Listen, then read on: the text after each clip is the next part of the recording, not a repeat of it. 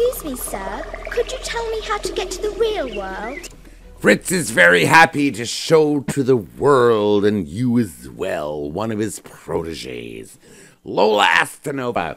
I took her from crayons to perfume, and she said thank you to Sir with love. It was wonderful. She turned out to be one of my best projects yet.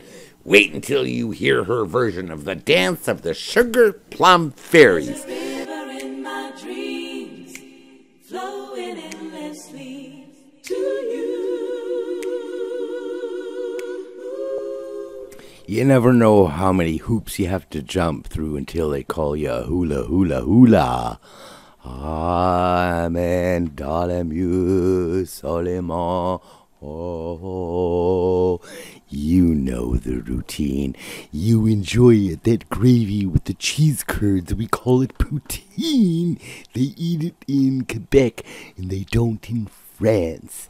I wonder what's the difference between their pants. Probably very little. So there you go.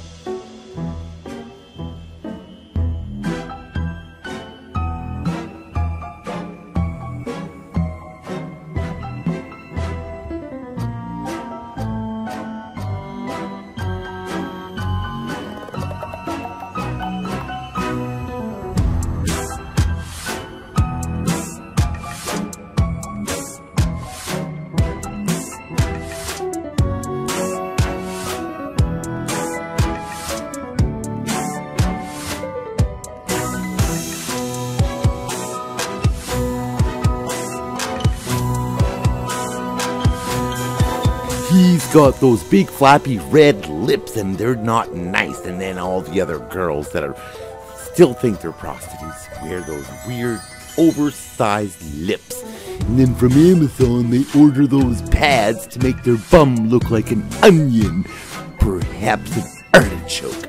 An inverted artichoke, which is in fact a thistle. And thistle's got little thorns on them and that's they're gonna get thorny bum action wearing those costumes in public with Lululemon and Arc'teryx and Aritzia outer coatings. Ooh, gosh, that's all for now.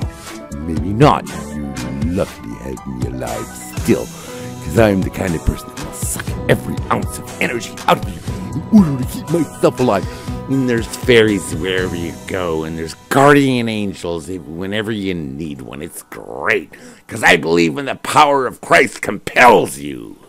I really do. Don't mistrust me, because you'll get into a lot of trouble if you ever attempt towards me, Fritz Pinker.